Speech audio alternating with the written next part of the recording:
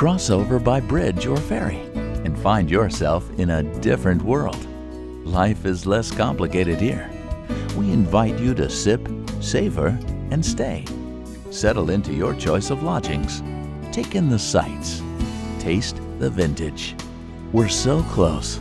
To book your island getaway, visit WhidbeyCamanoIslands.com. Discover Whidbey and Camano Islands, the shortest distance to far away.